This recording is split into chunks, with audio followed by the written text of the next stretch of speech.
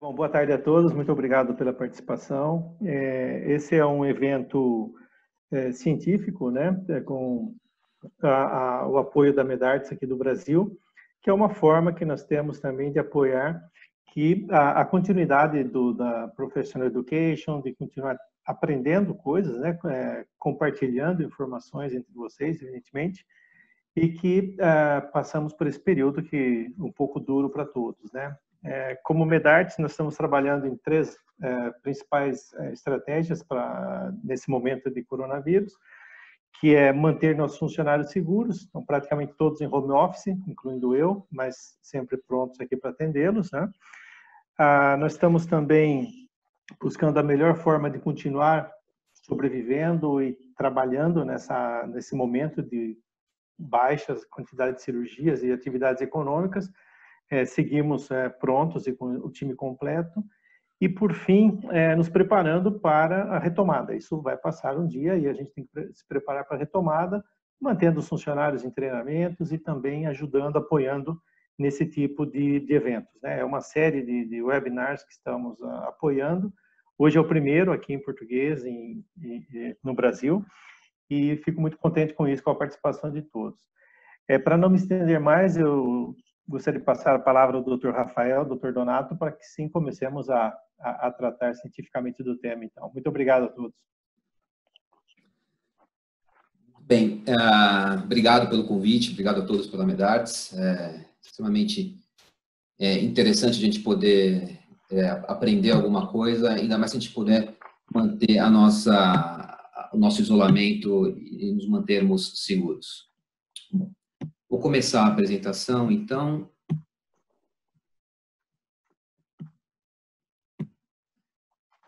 Ah, nesse, nesse webinar, eu e o Donato, nós, nós vamos falar um pouco sobre a correção do hálux valgo através da, da técnica de lapidos. Ah, estão conseguindo ver minha tela compartilhada?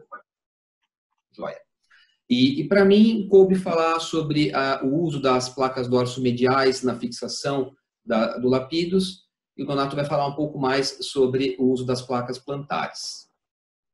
Ah, esses são meus possíveis conflitos de interesse com a apresentação. E os meus objetivos na, na minha aula seria discutir a técnica de preparo da artrodese e o posicionamento, é, e o posicionamento para fazer uma boa, ah, uma boa correção da deformidade valvo do hálux. Eu também quero discutir nessa aula as posições de fixação, assim como a biomecânica, ah, tanto do ponto de vista biomecânico quanto do ponto de vista da evolução clínica ah, desses pacientes. A, técnica de Lapidos, ela, ela, gera, ela tem um certo estigma desde o, desde o seu início. Ela foi proposta com o intuito de corrigir um hálux valgo em, dois, em 1911 por Albrecht e em 1925, Trussell fez algumas modificações no sentido de tentar a, a melhorar um pouco os resultados, tirando uma cunha de base lateral do primeiro metatarsal e da cunha. E quem tornou a técnica mais popular foi Lapidos em 1934, que ele fez uma modificação é, associando uma artrodese é, do primeiro metatarsal no segundo. Ah, lógico que nessa fase é uma fase um pouco precoce, os resultados da técnica não eram tão bons, que levou ao estigma da técnica, fazendo questionamentos em relação à sua função e como, e como ela seria aplicada, se valeria a pena ou não. E isso levou a modificações da técnica, da técnica até chegarmos a, a, a onde estamos. O que nós sabemos sobre o Lapidos é que ele tem um grande poder de correção do varismo do primeiro metatarsal, exatamente por ser um procedimento proximal. Ele também tem um grande poder de correção da deformidade valgo do hálux. A questão é que, inicialmente, no início do século passado, as taxas de complicação eram muito altas, às vezes maiores que 50%, e as taxas de não união eram igualmente altas, chegando a 25%. Ah, o que mudou é que eh, não tinham disponível naquela época alguns materiais que fizessem uma fixação tão adequada, tampouco alguns conceitos de fixação que nós temos hoje. Também mudou que o conceito da correção da deformidade está um pouco diferente agora, nos últimos 15 anos, do que era antes. Isso é, propiciou essa mudança nas taxas aí de não união. A gente pega algumas, alguns artigos mostrando taxas de não união baixas, que vão de 0 até 5,3 de não união. Só para a gente conseguir é, traçar um, um, uma equiparação, se compararmos uma técnica de chevron distal, que é um procedimento simples, numa deformidade leve em válvula do hálux, as taxas de complicação são iguais às do lapidus atualmente. Tá? O poder de, de, melhora dos scores funcionais, melhora funcional do paciente com lapidus é grande também. Diversos autores mostram uma grande melhora uh, da queixa do paciente com lapidus. E a consolidação, ela é rápida, desde que bem feito, acontece, uh, tem sinais de consolidação em um mês e meio, com baixas taxas de não união, mesmo quando a gente propõe uma reabilitação precoce, uma carga precoce. Então, as indicações do Lapidos seriam indicações é, em alto é, em moderado ou grave, desde que não haja uma, a, uma artrose da metatarsofalangiana, hálux valgo juvenil, hálux valgo recidivante ou recorrente. Quando nós temos um hálux valgo associado a uma artrite degenerativa da, do cuneiforme medial com o primeiro metatarsal, ou nos casos de hipermobilidade do primeiro raio.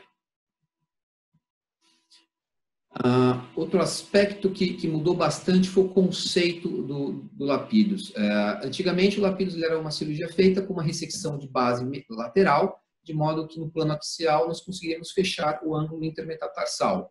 Isso, uh, nos últimos 15 anos, fica cada vez mais clara a associação de uma deformidade é, rotacional em pronação do primeiro metatarsal com a deformidade em válvulo do hálux, por isso que cada vez mais falamos em uma correção em três planos, uma correção rotacional, é, fazendo uma supinação do primeiro raio, como nós vemos nesse vídeo à direita. Ah, e com essa correção, teoricamente, a gente, com esse movimento de supinação, teoricamente, nós conseguiríamos corrigir a deformidade em válvula. E, e, é bastante interessante porque essa premissa teórica de corrigir rotacional foi, foi é, mostrada em diversos estudos, um deles esse de, Ray colaboradores, que ele acompanhou, que ele avaliou pré e pós-operatório, com um ano de pós-operatório, a correção nesses moldes, corrigindo com um movimento rotacional, fazendo uma supinação do, do primeiro metatarsal para corrigir o alto valgo. E ele mostra que, do ponto de vista clínico e estatístico, as correções foram extremamente adequadas, tanto do ângulo intermetatarsal quanto do ângulo de alto valgo e da posição da cabeça e dos sesamoides uma baixa taxa de, de recidiva, de recorrência, pelo menos nesses 12 meses de avaliação desse estudo. Ah, e, e, e, o que, que, esse conceito novo mudaria em relação à, reabilitação? Será que a gente consegue fazer uma reabilitação precoce também rodando? Bom, desde que bem corrigido, desde que bem estabilizado de uma forma estável e rígida, sim, é possível. Diversos autores mostram que quando que, que é possível dar carga total, desde que protegida, algum tipo de órtese, uma sandália, por exemplo, desde que a pele esteja em, um bom caminho de cicatrização. E essa carga precoce, ela não aumenta as taxas de não união e ela não a, aumenta a chance de perder a correção obtida no pós-operatório imediato. Então, sim, é possível da carga precoce rodando e fixando bem.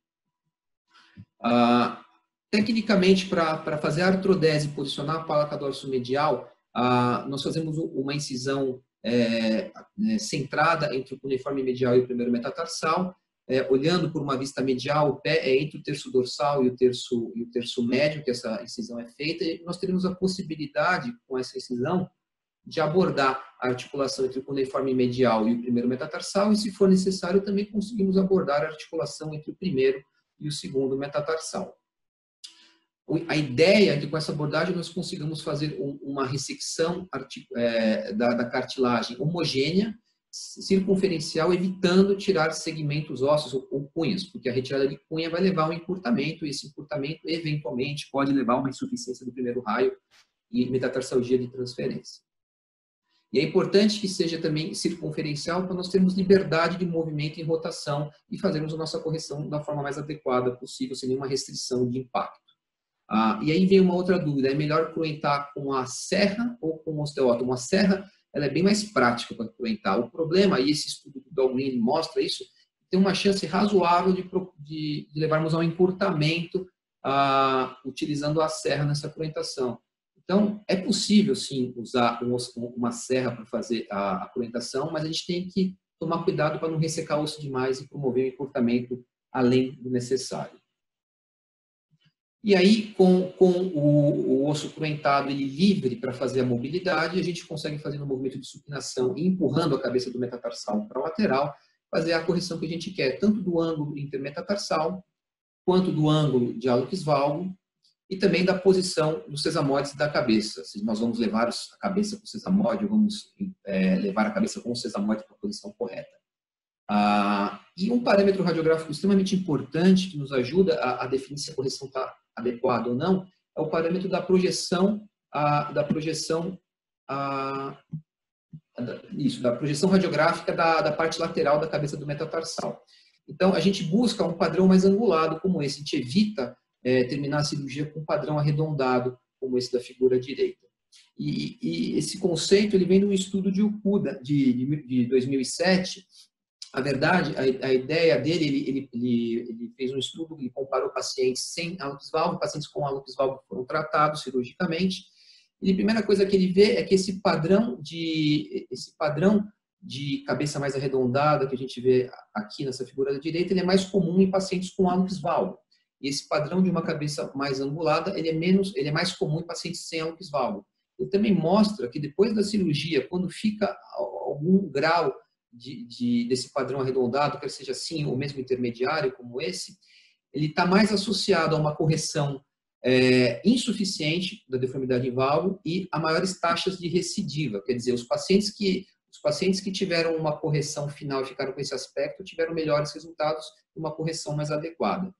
Na verdade, o que ele vê não é que as cabeças são diferentes, mas simplesmente que a projeção radiográfica é diferente. Então, no caso arredondado, a parte plantar da cabeça ela é projetada sobrepondo lateralmente a parte dorsal, que é isso que nós vemos. E quando não há uma deformidade rotacional em pronação, a parte dorsal da cabeça e a parte plantar estão alinhadas no mesmo plano da projeção radiográfica e tem esse aspecto ah, ah, angulado.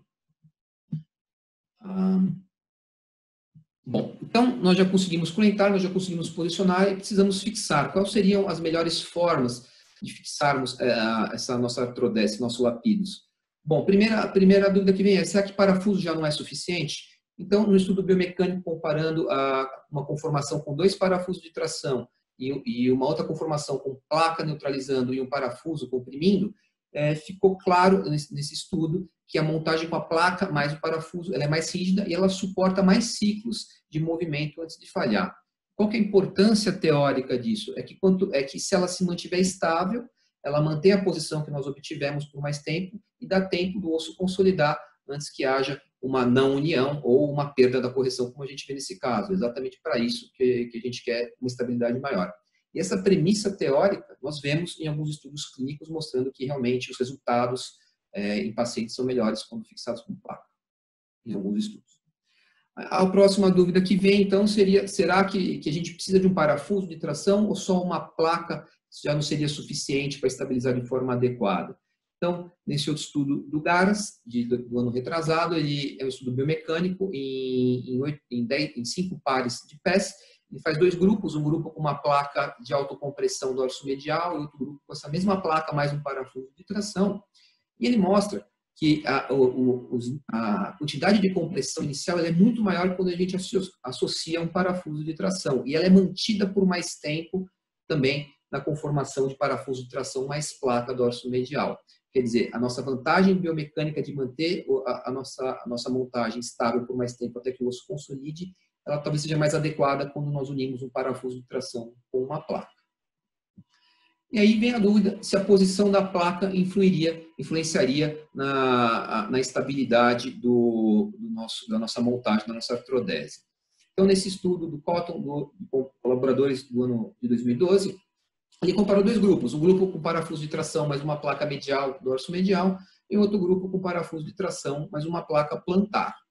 Ah, e ele mostra que são oito pares de cadáveres, ele mostra que não houve diferença estatística quando a gente testa a, quantidade de força necessária para desmontar a, essa nossa fixação ou a, a rigidez da nossa montagem. Então, estatisticamente não houve diferença, mas se nós observarmos as médias, elas são diferentes. A placa plantar, ela tolerou mais força para romper, ou ela, ela, foi mais rígida, né? Talvez, se essa amostra fosse um pouco maior, talvez a gente tivesse uma diferença estatística. Mas nós temos outros estudos que mostram diferença sim.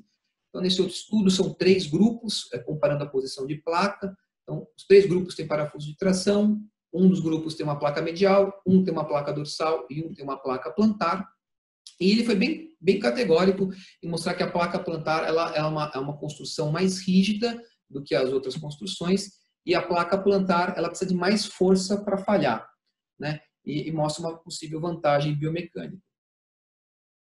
Então, que, que, a gente consegue entender desses estudos é que uma estabilidade absoluta com parafuso de tração em uma placa vai trazer benefícios biomecânicos. E, e aí a posição da placa dorso-medial medial ela vai neutralizar essa nossa construção, e se for uma placa plantar, ela vai ter uma função talvez de uma banda de tensão complementando ainda mais a estabilidade absoluta. Agora, uma dúvida que fica é, será que tem grandes diferenças clínicas colocar essa placa dorso-medial, colocar essa placa plantar? Será que a construção da placa dorso-medial ela já não supera muito as forças fisiológicas é, durante a marcha? Ela já é suficiente, não sobra uma boa consolidação? Esses estudos são todos biomecânicos, eles não, não cogitaram a possibilidade da consolidação durante o estudo. Né? E uma outra dúvida que nós temos nesses estudos é, será que a posição da placa está associada com maior ou menor complicação? Qual posição seria mais adequada? E para isso a gente precisa de estudos clínicos. Tem poucos estudos clínicos que comparam a placa dorsal com a placa medial. Um deles é esse do DEC, ele compara em dois grupos, ele divide dois grupos, um com parafuso de tração e placa medial, dorso medial, e outro com parafuso de tração, mas uma placa plantar e ele compara pré e pós-operatório até um ano. Ele mostra que não há diferença na evolução dos esforços funcionais, da escala de dor, os dois grupos evoluem de forma igual.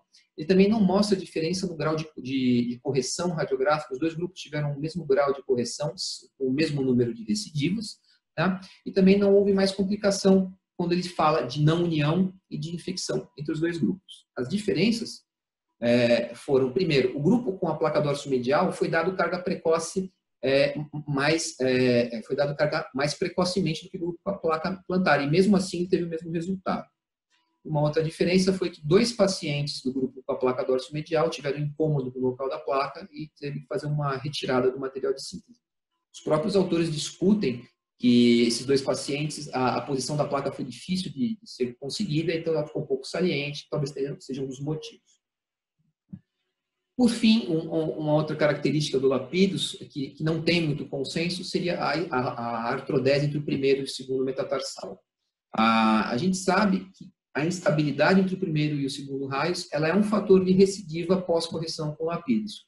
Porque se o primeiro metatarsal está pronado e a gente corrige, e a artrodese na cunha medial, e há uma instabilidade desse primeiro raio como todo, provavelmente todo o, todo o bloco primeiro metatarsal mais cunha, vai pronar novamente e, recidivar.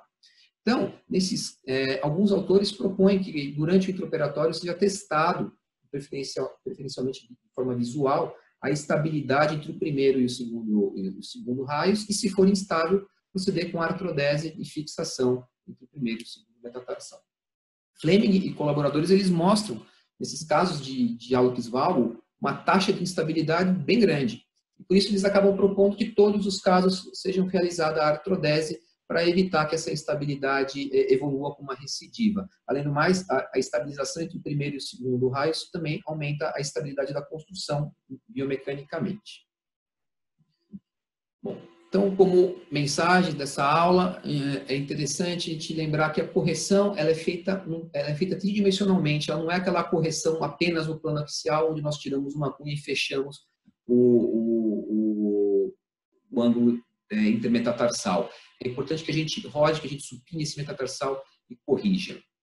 Ah, é importante ah, o uso de, de, uma, de uma estabilidade absoluta, preferencialmente com, com parafuso de tração e placas, vai trazer mais estabilidade. Muitos estudos mostram que essa maior estabilidade está associada a melhores resultados, estão, estão relacionados a menos taxa, a uma taxa menor de não união e a uma taxa menor de recidiva e perda da correção. É, particularmente, eu gosto bastante da placa dorso medial, acho ela tecnicamente mais simples de ser feita, de ser abordada. A abordagem, a incisão, ela permite bem uma visualização da articulação do cuneiforme medial com o primeiro, mas também permite a abordagem e a cruentação entre o primeiro e o segundo metatarsal. A, a minha aula, é, acho que a abordagem da minha aula era essa. Agora a gente vai ter uma, uma abordagem da, com placa plantar uh, do Dr. Donato. Muito bem, Donato. Deixa eu te. Já tirei, já tirei, obrigado. Queria agradecer aí o convite, e a oportunidade de estar falando um pouquinho e agradecer a presença de todos aí é, hoje. Deixa eu só subir minha aula aqui. Tá todo mundo ouvindo bem? Não, meu, meu áudio estava meio problemático. Tá ótimo.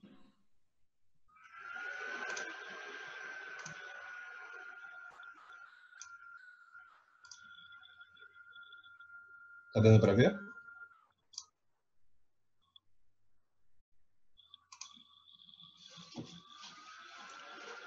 Muito bom. Então, é, me coube o tema aí a falar sobre a placa plantar. Esses são meus conflitos de interesse. Meu nome é Donato. E antes eu queria começar aqui é, falando um pouquinho que, que situação é essa nossa, né?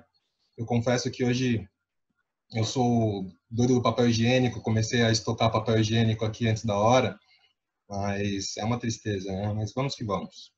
Então, o objetivo da minha aula aqui é apresentar os conceitos gerais da técnica, falar um pouquinho sobre anatomia aplicada e fazer um pouquinho de revisão de, de literatura. Então, o Rafa já falou muito bem sobre sobre o lápis, vou passar rapidamente aqui. Albrecht, no começo do século XX, uh, foi o primeiro a, a, idealizar a artrodese, mas foi Paulo Lápides que, que a difundiu. E ele levava muito em consideração a instabilidade do primeiro raio. Na época, ele tinha alto índice de falhas realmente. Ele usava fios de catgut para fixar essa artrodese, então e ainda dava carga precoce. Então, é, realmente, ela foi deixada de lado por um tempo devido ao alto índice de complicações. Com a, evolução das técnicas e dos materiais, esses valores foram mitigados. Hoje em dia, a técnica mais utilizada é a de parafusos cruzados. Porém, com, com o uso de placas, isso foi é, chegaram à conclusão de que é, um, é, uma, é, uma, é uma estabilidade mais rígida, com menor chance de complicações. Então, é possível que essa, essa incidência de placas aumente aí ao longo do, dos próximos anos. Ainda assim, é um procedimento mórbido e vem com complicações. Uh, 4,5% de falha de implante, aí quase 10% de pseudartrose, variando de um trabalho para outro, índices de retirada de material de síntese elevado, ah, devido ao conflito com o tendão ou, ou, ou implante ali próximo à pele. É. Com os conhecimentos do grupo AO, principalmente em ossos longos, onde é, são colocadas as placas é, no seu lado de tensão, transformando ela, essa força em compressão, isso foi idealizado por pé também, onde o, onde o lado de tensão seria o plantar de compressão dorsal. Portanto, faria mais sentido aí colocar a placa nessa região plantar. E quem idealizou isso pela primeira vez foi esse grupo de Marx, Parks e Luchon. Eles, inclusive, ganharam um prêmio aí de, do Roger Mann Award na época, foi no final dos anos 90, é, que, a princípio, eles idealizaram para pés de Charcot, onde eles tinham muitas falhas aí com parafusos, então eles acabaram tendo alguns bons resultados isolados e resolveram fazer um teste biomecânico e, e, e confirmaram a hipótese de que a placa plantar realmente ela aumenta aí a rigidez do sistema eles acabaram uh, concluindo que colocar a placa no lado de tensão aumentaria aí as chances de consolidação. É, Close, uh, alguns anos após, também fez um estudo mais específico aí para artrodese do primeiro metatarso com a cunha medial e obtiveram aí bons resultados, né, é, com relação à placa plantar, é, significativamente relevante, principalmente na rigidez inicial e, e na rigidez final do sistema. É, inspirados nesse resultado, eles, eles deram seguimento e fizeram um estudo clínico aí com 59 artrodeses, é, instituindo carga precoce, inclusive, obtiveram aí resultados animadores, 1,4% de pseudoartrose, então foi um caso dos 59, e porém obtiveram aí uma complicação grave, que foi uma ruptura do tibial anterior. E isso acendeu a luz em diversos é, cirurgiões que eh, hoje em dia justificam não utilizar a placa plantar devido a um conflito com os tendões. Plas, motivado por isso, fez um estudo anatômico com 29 pés, em que ele, ele dissecava a região é? é? deixando apenas os tendões inseridos e aí é, fixava a placa, analisava ali a, a, confluência da placa com os tendões. Ele notou que o fibular longo tinha uma inserção constante na base lateral do primeiro meta. Em 80 a 90% dos casos, ele emitia ramos para a cunha medial também. É, note que o fibular longo ele não é um problema, ele fica afastado da, do sítio da placa, então ele realmente não é um problema. Já o tibial anterior, não. Ele tem uma relação íntima aí com, com essa cirurgia. Notem que é, fica bem encostado mesmo no tibial anterior, você tem que ter um certo cuidado. É, como variações anatômicas, ele notou que essa era mais frequente, o que emitia um ramo para o primeiro meta e um ramo para a cunha medial. E ele acabou desenvolvendo uma zona segura, que era constante, livre de inserções tendíneas, é, bem na região plantar, que fica entre o sítio de inserção do fibular longo e do tibial anterior, como a gente pode notar nessa figura. Além disso, ele comparou as placas é, que estão disponíveis aí no mercado para é, específicas para a região plantar. É, eu queria que vocês é, notem essa placa aqui, como ela se destaca da, da, das outras placas oferecidas. Eles a compararam com relação a, a, ao acoplamento anatômico perfeito, a necessidade de pré-moldar, contato com os tendões, e essa placa ela foi um pouquinho diferente. Né? Na, na média das outras placas, é, teve aí contatos de até 40% de tendão, e nessa placa é, teve aí o bom resultado. Nota que o fibular longo não é um problema, e não teve nenhum contato com nenhuma placa. Essa placa em Y que eles comentam é a placa da Medarts. É, num outro trabalho anatômico, é, Shield colaboradores notaram também esses 40% de contato com o tendão, nenhuma dessas placas é da Medarts, é, o que nota que realmente a gente tem que ficar atento na cirurgia é, para evitar esse tipo de contato que não, não é bom. É, no estudo prospectivo, aí, Gutek, ele comparou 17 pacientes com carga imediata é, e, sem, e, uma carga postergada após seis semanas, para ver se tinha algum tipo de complicação. Não teve nenhuma diferença, todas as cirurgias pularam, as artrodeses pularam, os pacientes ficaram bem. A única diferença é que o grupo com carga voltou 30 dias antes do trabalho eles acabaram concluindo que a carga precoce é, deveria ser é, colocada como um protocolo padrão aí desse tipo de cirurgia. É, também note o, o, alto índice de, de retirada de ma material de síntese quando aplicada a placa dorsomedialmente, né, nesse trabalho de 165 pacientes, um trabalho retrospectivo, tem pouca relevância, mas de qualquer forma, 25 pacientes necessitaram de RMS, o que significa 15% dos casos. Concluindo, é, faz sentido você colocar a placa plantar, tem um envelope de partes moles é, melhor, teoricamente isso diminuiria a chance aí de RMS. Você tá, você tem a biomecânica ao seu favor. É, é possível você fazer a correção em três planos quando necessário. E além disso, você pode dar movimentação precoce e uma possibilidade de carga também mais precoce, o que diminuiria o risco de complicação. Como desvantagem, não é que é mais difícil a técnica, mas nós não estamos acostumados, né? Não é a nossa escola. Geralmente a gente aprende via dorso medial e precisa de um mindset diferente, uma abordagem plantar, não é o que a gente está acostumado. Na minha opinião, é material específico, como a gente notou, a placa da Medarts ela é superior às outras placas, então, na minha opinião, se você vai fazer uma artrodese de lapidos via plantar, você deveria escolher esse material. É, como desvantagem também, é, a instabilidade intercunhas fica difícil da gente avaliar por via plantar. Então, se é um caso que você está desconfiado que talvez tenha que mexer intercunhas ou ou você, você também fazer o lapido tradicional, que é passar o parafuso para o segundo meta, é, na minha opinião, é uma desvantagem, porque você teria que fazer uma segunda via dorsal. E, na minha opinião, cirurgias de revisão também é, é, é melhor você abordar via dorsal, porque geralmente você precisa de enxerto de bloco e aí fica um pouquinho mais complicado. Notem esse caso aqui, uma, uma, um hálux valgus moderado. A, a, via, o limite da via seria a borda superior aí do abdutor do hálux. É fácil, uma via direta, você afasta ali o abdutor, já cai praticamente ali na, no lugar correto. É, foi fixado via plantar. O paciente está bem, seis, sete meses de cirurgia, é, notem que a redução foi obtida, mas vamos olhar com cuidado. Olhem essa região, comparem com o lado contra com o lado pré-operatório. Olha como abriu essa região.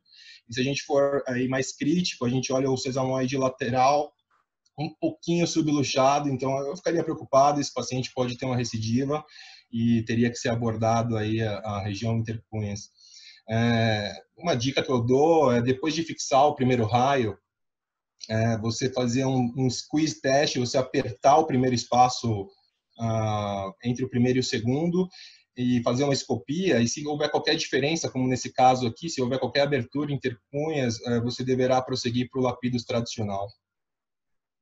Esse outro caso meu, eu acabei fixando com parafusos cruzados e eu saí satisfeito da cirurgia, mas eu acho que eu obtive alguns, errei aqui a escolha do, do material, na minha opinião, eu devia ter colocado placa, não usei e devia ter me atentado à instabilidade intercunhas. Eu não tenho as fotografias com pseudartrose, mas eu abordei esse caso quatro meses depois. É, note que eu tive que ressecar osso, mais osso do que eu tinha ressecado na primeira cirurgia. O que aconteceu é que o primeiro metatarso ele encurtou e eu não tive opção além de usar enxerto de bloco de osso, corrigindo a rotação e acabei incluindo as a, a intercunhas, né, e, e, e o segundo metatarso na artrodese. Queria agradecer aí a oportunidade. Muito obrigado aí a todos pela todos que participaram da desse nosso webinar, a todos que perguntaram, a, a, obrigado por essa disponibilidade aí, gente. Valeu, valeu, obrigado, viu, galera? Tchau, tchau. Tchau, tchau.